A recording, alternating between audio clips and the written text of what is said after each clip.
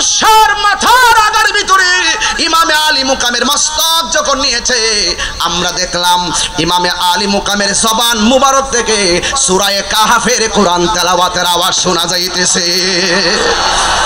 আম হাসিবিতা আন্না আসহাবাল কাহফি war Rakim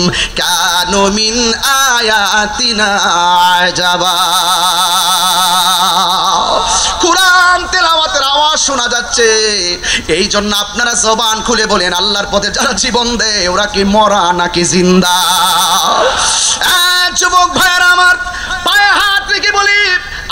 ওয়াজ শুধু ঘটনা হিসেবে নয়, চেতনা হিসেবে লালন করা লাগবে। এই জন্য ওই খুলিফ মেজিয়াত যখন কল্লা মুবারকটা, মস্তক মুবারকটা, তার বাড়ি যখন কুফার রাজ দরবারে নিয়ে গেলেন, গিয়ে দেখলেন রাজ দরবার- গেটটা বন্ধ করে দেওয়া। যখন গেটটা বন্ধ দেখলেন, তখন কল্লা মুবারক, মস্তক মুবারকটা তার ঘরে নিয়ে গেলেন। তার ঘরে যখন নিয়ে গেলেন, তার ঘরে যাওয়ার পরে ঘরের দরজার মধ্যে রাখলেন। ওনার, ওর স্ত্রীর নাম হলো নৌয়ার স্ত্রীর নাম হলো নৌয়ার।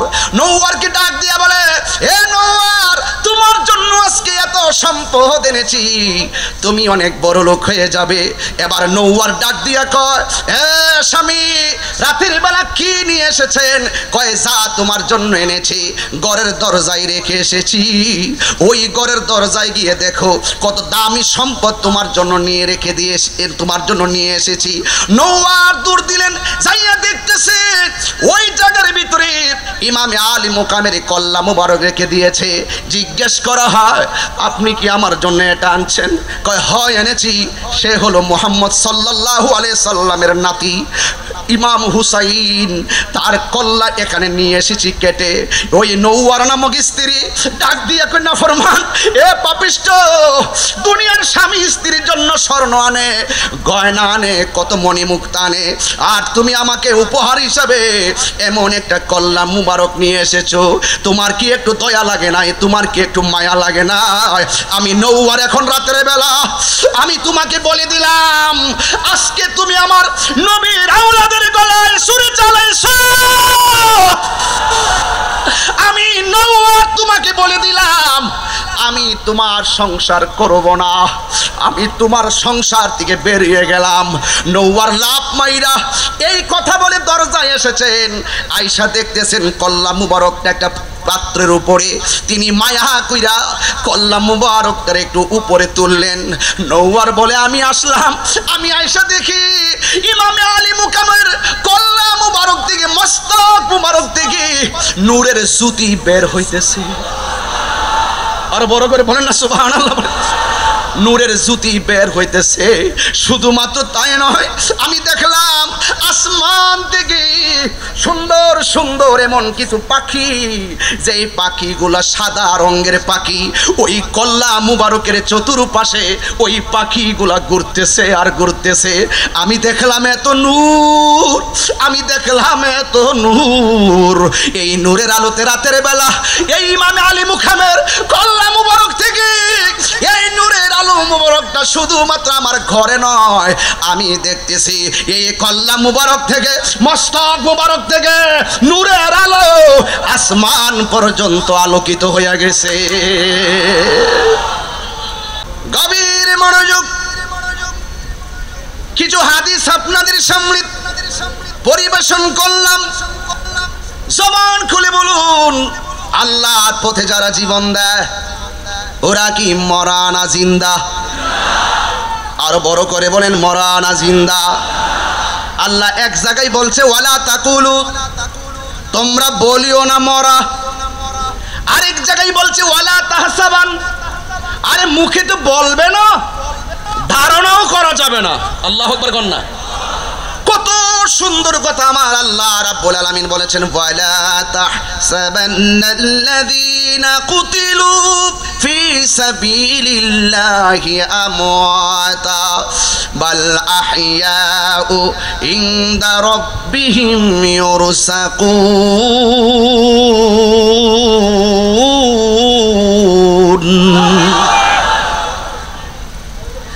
আল্লাহ রাব্বুল আলামিন বলেন, যারা আমি আল্লাহর পথে নিহত হয়েছে, যারা আমি আল্লাহর পথে যারা শহীদ হয়েছে ওদেরকে তোমরা মৃত বলে ধারণা করিও না? জবান খুলে বলুন, ওরা কি মরা না জিন্দা? শুধু জিন্দা নয় আল্লাহ রাব্বুল আলামিন কোরআনুল কারীমের মধ্যে তাদের মর্যাদা এভাবে তুলে দিয়েছেন, ইনদা রাব্বিহিম ইউরজাকুন এরা, আমি আল্লাহর পক্ষ থেকে যার যার রওজাতে, যার যার কাছে, আমি আল্লাহর পক্ষ থেকে জান্নাতি রিজিক পাঠিয়ে দেওয়া হয়।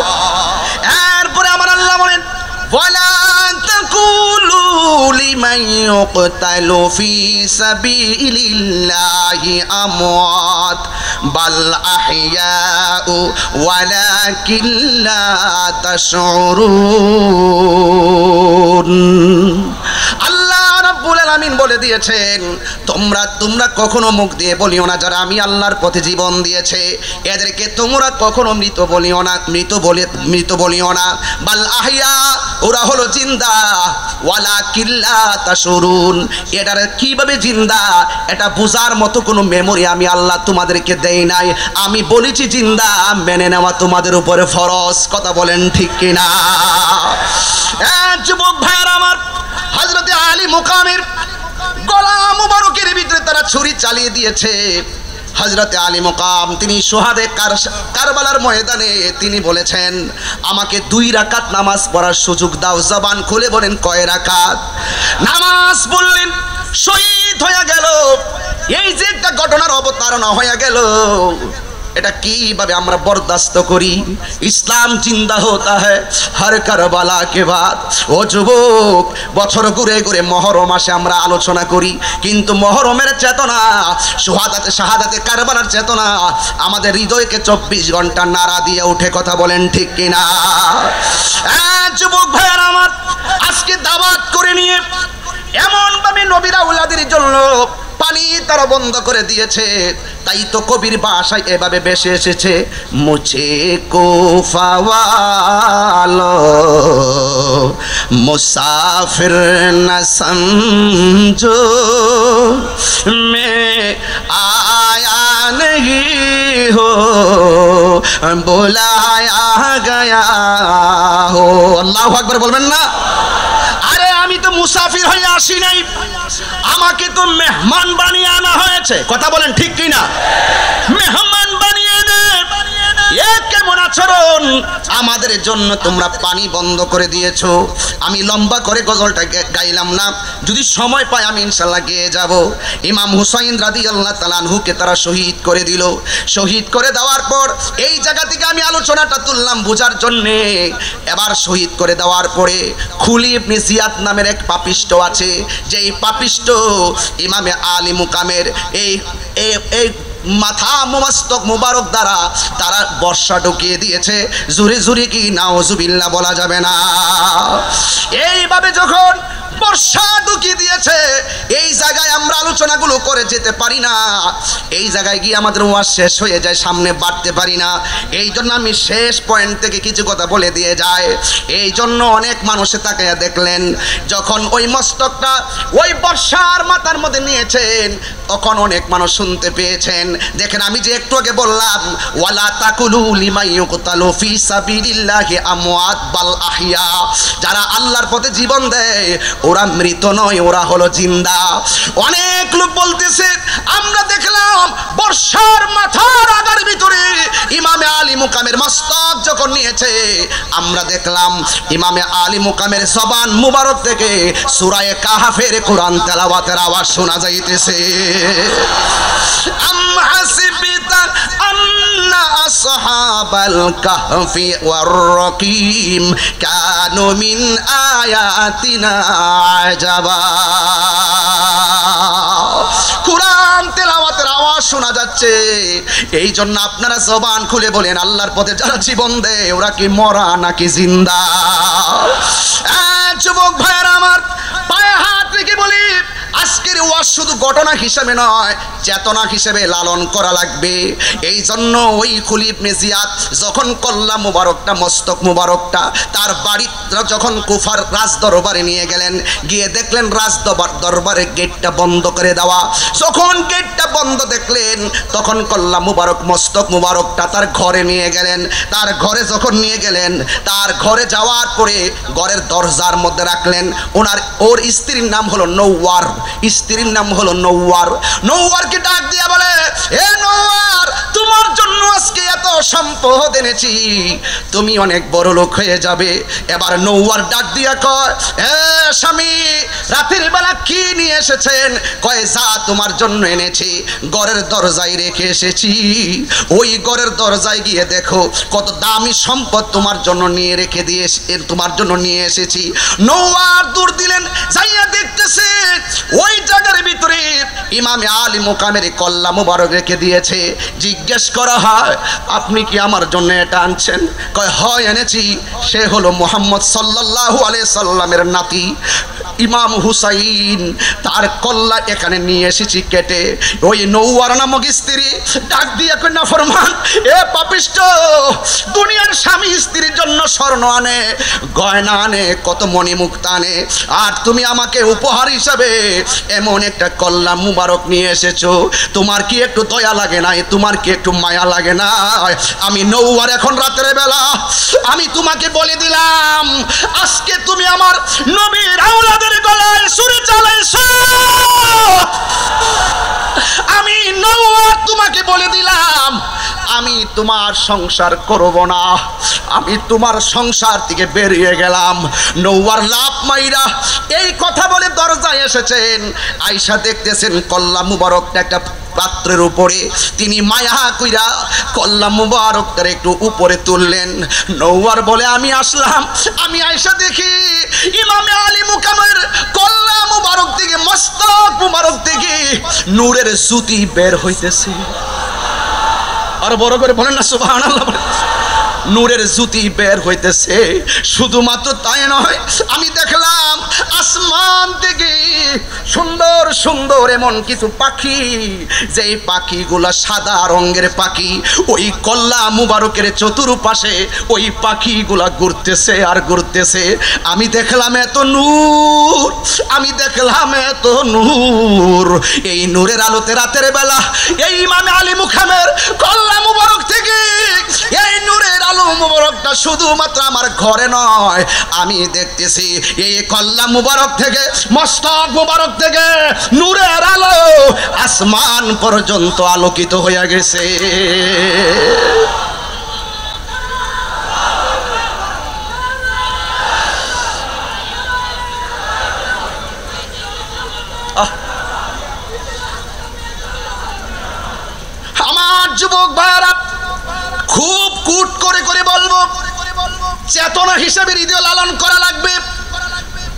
ঘটনা বলে উড়িয়ে দেওয়া যাবে না। আরে সর সুদূর কিতাবের মধ্যে আসছে। আজাবু মিন আসহাবিল কাহফে। আজাবু মিন আসহাবিল কাহফে। আসহাবে কাহফ তো ওই বান্দারা, যারা মনিবের জন্য জাহেল থেকে নিজেকে গোপন করে ফেলছে, জাহেল থেকে নিজেকে আড়াল করছে, শান্তি মতো মনিবকে ডাকার জন্য, আমার রবকে ডাকার জন্য বলা হচ্ছে, কাতলি ও হামলি। আরে, ইমাম হাসান হুসাইনকে যারা হত্যা করেছে, যারা শহীদ করেছে, এবং যারা বহন করেছে, সেই বহন করাটা ওরা তো শত বছর পরে জিন্দা হওয়ার পর আমরা বলতেছি, আশ্চর্য, ইমামে আলী মুকামের কল্লা মুবারককে তারা নিয়ে গড়িয়েছে, তার কণ্ঠ থেকে যে আওয়াজ এসেছে, সেটা সেই আশ্চর্য, থেকেও আশ্চর্য। বোঝাতে পেরেছি, সংক্ষিপ্ত বলছি, ইমামে আলী মুখামের কল্লা মুবারক থেকে যখন আলো বের হচ্ছে, আপনারা জবান খুলে বলুন, ইজ্জতের মালিককে নিয়ামত দিয়েছেন কে? তারা ইমামে আলী মুকামের ভক্ত হয়ে যেতে পারে, আমাকে ছেড়ে দিতে পারে। তাড়াতাড়ি এই এই এই এই মস্তক মুবারক নিয়ে গেল কুফার কুফার রাজ দরবারে নেওয়ার পর ইবনে জিয়াদ ইবনে জিয়াদ ঘোষণা করল যে এই কল্লা মুবারক বর্ষার আগার, আগায় তুলো এবং তার আপনজন, বিশেষ করে জৈনব, সখিনা, মহিলারা যারা রয়েছেন, তাদেরকে বাজারে তুলো এবং কল্লা মুবারককে বর্ষার আগায় লাগাও, লাগাইয়া চতুর্দিকে ঘুরাইয়া ঘুরাইয়া দেখাও। চতুর্দিকে ঘুরাইয়া ঘুরাইয়া দেখাও। আর সবাইকে এলান করে দিল। হে সমাজ, এ এলাকাবাসী, দেখেছ? আমাদের সাথে কেউ যদি কোনো বড় গলায় কথা বলে, কি শেষ পরিণতি হয়? তাদের কল্লা দেখে তোমরা শিক্ষা নাও। তাদের মহিলাদের এই অবস্থা থেকে তোমরা শিক্ষা নাও। খবরদার, তোমরা আমাদের উপরে কথা বলো না। হেজিদ বাহিনী তখন এই কথা ছেড়ে দেওয়ার পর আপন থেকে ঘর থেকে বের করে নিয়ে আসলো। বাজারে বাজারে হাঁটা শুরু করল। যেই মাত্র শুরু করল জৈনব দেখতেছেন জৈনব দেখতেছেন, এই কল্লা মুবারক যখন বর্ষার মাথায়, আর আপন জনরা নিজের আপন জনের কল্লাটা দেখলে কেমন লাগে, সেটা তো আপনারা সহজেই বুঝতে পারেন। এবং যেই মহিলারা ঘটনার সময়, কারবালার ঘটনার সময় তাঁবুর ভিতরে অবস্থান করেছিল, সেই তাঁবু থেকে বের করে এই পাপিষ্ট নরদমেরা তাদেরকে বাজারে ঘুরাইতে শুরু করল। আর সৈনব তাকিয়ে দেখতেছেন, ছাদের উপর দিকে মানুষে কান্নাকাটি করতেছে। হাই রে নবীর আউলাদকে এভাবে কেটেছো আবার যেই মহিলারা পর্দা করত, তাদের সেই পর্দাকে লঙ্ঘন করিয়ে বাজারে তোমরা ঘোরাফেরা করাচ্ছ, এটা কেমন কথা? ইমামে আলী মুকামের দরদি হয়ে তারা কান্না শুরু করল। জৈনব তাকায় আলাই সালাম, তাকায়া তাকায়া দেখতেছে। জৈনব রাদি আল্লাহ আনহা তাকায়া তাকায়া দেখে আর বলছেন হ্যাঁ তাদেরকে তো ঘুরাচ্ছে। হঠাৎ করে বলছে, এই গুড়াটা থামাও। গোড়া থামাও। ডাক দিয়ে বলছেন, তোমরা কান্নাকাটি করছ? ইমামে আলী মুকামের মস্তক মুবারক কেন বর্ষার আগায় তোমরা আফসুস করছ? আমাদেরকে কেন বাজারে ঘুরানো হচ্ছে তোমরা আফসুস করছ? তবে আমি জানতে চাই, আমরা তো এমনি আসি নাই। আমাদের কাছে চিঠি কে পাঠিয়েছিল? তোমরাই পাঠিয়েছিলে। যারা কান্নাকাটি করছে, তাদেরকে প্রশ্ন করছেন যে তোমরা যখন কান্নাকাটি করছ, খুব মনোযোগ, একদম মনের ঘর থেকে শোনেন। হৃদয়কে খুব জাগ্রত করেন। আমার যুবকদেরকে বারবার বলি, এই জন্য করো। দরকার আছে। যৌবন যার যুদ্ধে যাওয়ার সময় তার। কথা বলেন ঠিক কিনা বলেন? পরিষ্কার কথা। জৈনব বলছেন, তোমরা যে চিঠি পাঠিয়েছিলে, চিঠি কে পাঠিয়েছিল? তোমরাই পাঠিয়েছিলে। ইমাম আলী মুকামের পক্ষ থেকে মুসলিম ইবনে আখিল এবং তার দুই ছেলে মোহাম্মদ ইব্রাহিমকে যাচাই বাছাই করার জন্য আমরা পাঠিয়েছিলাম। তোমরাই অনেক লোক তাদের কাছে মুরিদ হয়েছিলে, বায়াত হয়েছিলে এবং তাদের কাছে কেন বায়াত হয়ে বায়াতকে প্রত্যাখ্যান করেছ? আবার তাদেরকে কেন নির্মমভাবে শহীদ করেছ? এবং আমাদেরকে এখানে আনার পরে আমার আর নবীর আউলাদদেরকে কেন আউলাদদের জন্য দাওয়াত দিয়ে এনে কেন ফুরাতের পানি বন্ধ করেছ? এই জন্য এবং তাদেরকে নির্মমভাবে কেন শহীদ করেছ? এই হিসাবটা তোমরা আগে দাও। সুতরাং তোমরা আমাদেরকে দাওয়াত করে এনে এইরকম নির্মম ঘটনার অবতারণা করেছ। আমি শুধু পরিষ্কার করে বলতে চাই, তোমাদের কান্নার অধিকার নাই। তোমাদের চোখের পানি ফেলে এই কপালের ভিতরে হালে বায়াতের যে রক্ত, এই রক্তকে কখনো মুছতে পারবে না। তোমাদেরকে সারা জীবন কানতে হবে। এইভাবে চোখের পানি ফেলতে হবে। আমি সৈনব তোমাদেরকে লানত দিচ্ছি। এখান থেকে স্পষ্ট হয়ে যায়, ইয়া হুসাইন ইয়া হুসাইন শুনলেই পাগল হওয়া যাবে না। ইয়া হুসাইন হুসাইন বলে, ডেকে নিয়েই ওই কুখ্যাত মুনাফিকরা নবীর আওলাদকে নির্মমভাবে শহীদ করেছে। আমরা জৈনবের ভাষ্য থেকে বুঝতে পারি, যারা আজকে যারা আজকে ইমাম হুসাইন রাদি আল্লাহ তালানহর সেই খুলি মুবারক, সেই মস্তক মুবারক দেখে যারা কান্না করেছিল সেই কান্নার রহস্য আজকে আমি তুলে ধরছি। এই কান্না দেখে আপনারা পাগল হবেন না। এই কান্না কেন কেঁদেছিল? ওরা কেঁদেছিল কাজটা আমরা ভালো করি নাই। আজকে যারা বিশাল বড় দাও হাতে নিয়ে, সোহাদে কারবালায় পিঠের ভিতরে দাও দিয়ে দিয়ে পিঠকে কেটে টুকরা টুকরা করে দেয় শরীর থেকে রক্ত বের করে। হাই হুসাইন, হাই হুসেন বলে, এইভাবে যারা বিভিন্ন ভাবে শরীরের মধ্যে আঘাত করে, রক্তাক্ত করে, এই আঘাতের সাথে ওই জৈনবের কণ্ঠ মিলে যায়। জৈনব যে বলেছিল, তোরাই তো ডেকে এনেছিলি।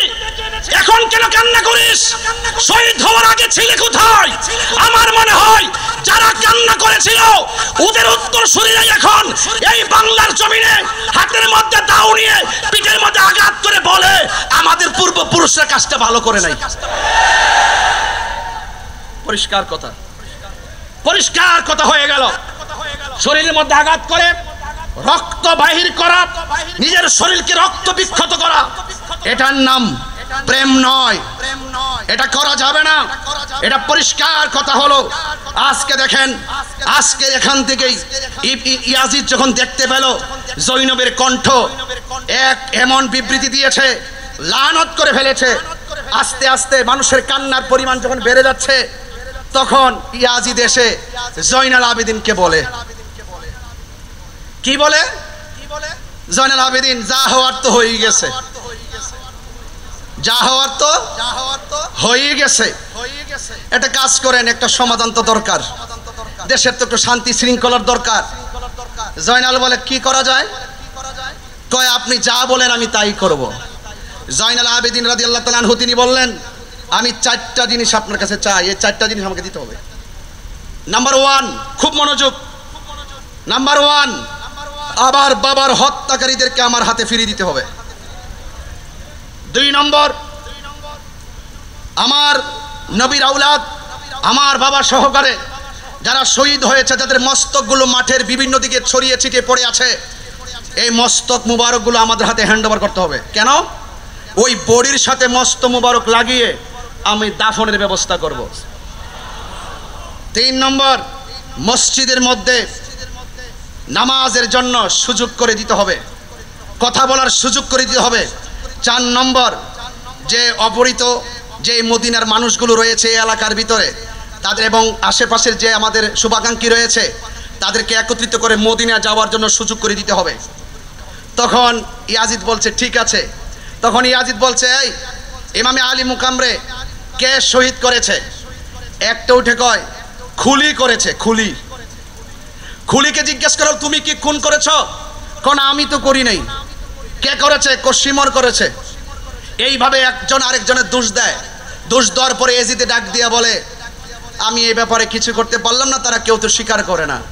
ইমামে জৈনাল আবেদিন তখন বললেন, প্রথম প্রশ্নের উত্তরটা আপনি আমাকে এভাবে দিবেন, আমি আশা করি নাই। কথা কিন্তু পরিষ্কার। আজকে অনেকে এজিদের শুভাকাঙ্ক্ষী হয়ে কথা বলে।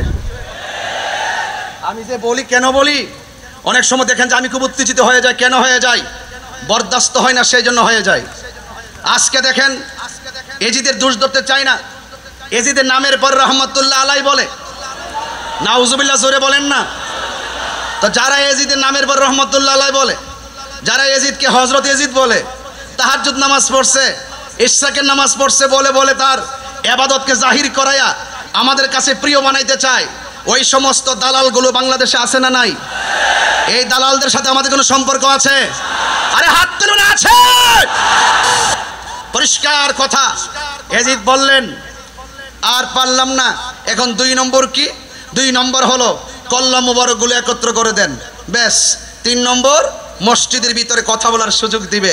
বাস, কথা বলার সময় জুমার দিন এত সুন্দর বক্তব্য দিলেন, এমন সুন্দর কথা বললেন। প্রথম একটা কথা বললেন যে, আমার বাবার কি অপরাধটা ছিল সেটা বলেন। শুধু এই কথা বলার পর মসজিদের ভিতরে কান্নার রুল পড়ে গেল। এজিদ তো বুঝতে বুঝতে পেরেছে, যদি এখন যে এইভাবে কান্নাই করতে থাকে, শেষ পর্যন্ত আমার উপরে সওয়ার হতে পারে। তখন ডাক দিয়া বললেন যে, নামাজের টাইম হয়ে গেছে। মুয়াজ্জিনরে বললেন, আজান দেওয়ার জন্য। মুয়াজ্জিন তখন আজান দিলেন, আল্লাহু আকবার আল্লাহু আকবার। আজান দেওয়ার পরে তিনি বললেন ঠিক আছে? আল্লাহ ছাড়া মাবুদ না, আল্লাহ সুমহান। এটা আমি মানি এবং জানি। এরপরে বললেন আসাদ আল্লাহ ইলাহা ইল্লাল্লাহ। এই কথা বলার পরে তিনি বলছেন হ্যাঁ আল্লাহ ছাড়া যে কোনো মাবুদ নাই। জয়নাল আবেদিন উত্তর দেয় আর কি, আল্লাহ ছাড়া যে কোনো মাবুদ নাই। আমার বডিও জানে, আমার বডিও সাক্ষী দেয়, আমার গোস্ত সাক্ষী দেয়, আমার চুলে সাক্ষী দেয়, আমার রক্ত সাক্ষী দেয়। আল্লাহ ছাড়া কোনো মাবুদ নাই। এরপরে জিজ্ঞেস করা হয়, এরপরে বলা হয়, আশহাদু আন্না মুহাম্মাদুর রাসূলুল্লাহ সাল্লাল্লাহু আলাইহি ওয়াসাল্লাম। যখন এই কথা বলা হলো, তখন ডাক দিয়া বলে, এই মুয়াজ্জিন, চুপ করো। এই মুয়াজ্জিন, চুপ করো। তুমি মুখ দিয়ে বলছো, আশহাদু আন্না মুহাম্মদ রসুল্লাহ সাল্লাল্লাহু আলাইহি সাল্লাম তুমি মুখ দিয়ে বলতেছো নবীর নাম। তুমি জবান বন্ধ করো। আমি জানি আল্লাহ মহান। আমি জানি লা শাইউন আকবার মিনহ। আমি জানি আল্লাহ সুমহান। আল্লাহ সুমহান। আল্লাহ ছাড়া যে মাবুদ নাই, সেটা আমার রক্ত সাক্ষী দেয়। সেটা আমার গোস্ত সাক্ষী দেয়। সেটা আমার চুলে সাক্ষী দেয়। অল বডি সাক্ষী দেয়। কিন্তু আমি তোমাদের কাছে জানতে চাই, নবী, যদি তোমরা যে মুখে বলছো আমরা সাক্ষ্য দিচ্ছি, আমি সাক্ষ্য দিচ্ছি, নবী হলো আল্লাহ রাসূল। নবী যদি আল্লাহ রাসূল হবে, তোদের জবান দ্বারা সাক্ষী দিলি, তাহলে নবীর আওলাদের গলায় কেন ছুরি চালাইলি কথা দে। আরে হাত তুলে বলেন না ঠিক কিনা, বলেন না কেন? জবাব দে! নবীর আউলাদের গলায় কেন ছুরি চালাইলি? এই কথার জবাব দিয়ে সামনে বাড়ো। এই কথার জবাব যদি দিতে পারো তাইলে সামনে বাড়তে পারবে। যদি জবাব দিতে না পারো, তোমাদের নামাজ পড়ার অধিকার নয়। তোমাদের মসজিদে নামাজের কোনো দাম নাই। তোমাদের আজানের কোনো দাম নাই। এইভাবে যখন বললেন, তখন ইয়াজিদ দরপাকরাওয়ার মতো পড়ে গেলেন। আমি আপনাদের কাছে জানতে চাই, এত কিছু জানার পরে, এত কিছু বোঝার পরে আপনাদের হৃদয়কে এতটুকু শুভবুদ্ধি হৃদয় হয় না? যে আজকে যারা এজিদের পক্ষে কথা বলে, আজকে যারা, আজকে যে আমরা যারা শাহাদাতে কারবালার মাহফিল করছি, কোটি টাকা খরচ করে, কারণ কি? আমরা আমাদের জীবনটুকু ইমামে আলী মুকামের জন্য দিয়ে দিতে পারব। দিতে পারব কি পারব না? তাহলে আপনারা বলুন, আমরা ইমামে আলী মুকামের পক্ষে থাকতে চাই কি চাই না? আরও জবান খুলে কোন চাই কি চাই না? তাহলে আজকে যারা আজকে যারা আহলে বায়াতের বিরুদ্ধে কথা বলে, তাদের সাথে আমাদের কোনো সম্পর্ক আছে? আরে ইমামে আলী মুকাম কারা? ইমামে হাসান হুসাইন রাজি আল্লাহ তালুমা কে? হজরতে মৌলা আলীর সন্তান। আরও বড় করে না সোহান আল্লাহ হজরতে মৌলা আলী রাদি আল্লাহ তালার ব্যাপারে আমার রাসূল বলছেন, মান সাব্বা আলিয়ান, ফাকাদ সাব্বানি, যে আমার আলীকে গালি দিল, সে যেন আমি নবীকে গালি দিল। আমার রাসূল বলছেন, মান আজা আলিয়ান, ফাকাদ আজানি যে আমার আলীকে কষ্ট দিল, সে যেন আমি নবীকে কষ্ট দিল। আমার রাসূল বলেছেন মান আহাব্বা আলিয়ান ফাকাদ আহাব্বানি, ওয়ামান আহাব্বানি, ফাকাদ আহাব্বাল্লাহ। যেই ব্যক্তি আমি, যে যে ব্যক্তি আমার আলীকে ভালোবাসলো, সে যেন আমি নবীকে ভালোবাসলো, যে আমি নবীকে ভালোবাসলো, সে আমার আল্লাহকেও ভালোবাসলো। জবান খুলে বলুন, আমরা মৌলা আলী রাদি আল্লাহ তালানহুকে ভালোবাসতে চাই কি চাই না? আরও বড় করে বলুন, চাই কি চাই না? শুধুমাত্র তাই নয়, আমি পরিষ্কার ভাষাই বলতে চাই, এই হাদিসের দ্বিতীয় স্টেপে আমার রাসূল বলেছেন, ওয়ামান আবগাদ আলী জ্ঞান ফাকাদ আবগাদানি, ওয়ামান আবগাদানি, ফাকাদ আবগাদ আল্লাহ যে আমার আলীকে কষ্ট দেয় সে যেন আমি নবীকে কষ্ট দেয়। যে ব্যক্তি আমি আমার, আমি নবীকে কষ্ট দিল সে যেন আল্লাহকে কষ্ট দিল। এই জন্য রাসূল একটি হাদিস অত্যন্ত চমৎকার ভাষায় অবতারণা করেছেন। আন আলী গিবনে আবি তালিব রাদিয়াল্লাহু তাআলা আন, আন্না রাসূলুল্লাহি সাল্লাল্লাহু আলাইহি সাল্লাম আখাযা বিয়াদি হাসানিন ওয়া হুসাইনিন, ফাকাল মান আহাব্বানি ওয়া আহাব্বা হাযাইনি ওয়া ওয়া আবাহুমা ওয়া উম্মাহুমা কানা মাই ফি দারাজাতি ইয়াউমাল কিয়ামা। রাসূল করিম সাল্লাল্লাহু আলাইহি সাল্লাম একদিন হাসান হুসাইনের হাত ধরলেন, হাতকে এইভাবে ধরে বললেন, যারা আমি নবীকে ভালোবাসবে, তারা এই দুইজনকে ভালোবাসবে। আর বড় করে বলে না, সুবহানাল্লাহ।